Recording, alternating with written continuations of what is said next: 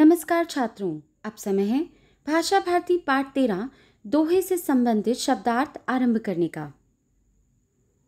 सर्वप्रथम दिनांक, आज का वार, विचार में परिश्रमी हूँ। कक्षा कार्य, पाठ तेरह दोहे। उद्देश्य, छात्रों को संतों द्वारा दिए गए दिशा निर्देशों की जानकारी देना। उन्हें महान संतों द्वारा दिए गए संस्कारों को जीवन में अपनाने के लिए प्रेरित करना। शब्दार्थ शब्द, अर्थ व पद परिचय लिखते हुए छात्र तीन कॉलम्स का निर्माण करेंगे। पहला शब्द, कुटी। अर्थ, कुटिया।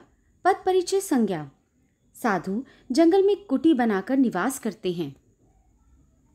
कुटुंब, अर्थ, परिवार। पद परिचय, संज्ञा। कुटुंब के सभी सदस्य मिलजुल कर प्रेम से रहते हैं। पंथी, अर्थ राहगीर पद परिचय, संज्ञा। पंथी पेड़ की छाया में विश्राम करते हैं। निर्मल, अर्थ, स्वच्छ, पद परिचय, विशेषण। हमें अच्छे विचारों को मन में स्थान देना चाहिए, तभी हमारा मन निर्मल होता है। निंदक, अर्थ बुराई करने वाला पद परिचय संज्ञा।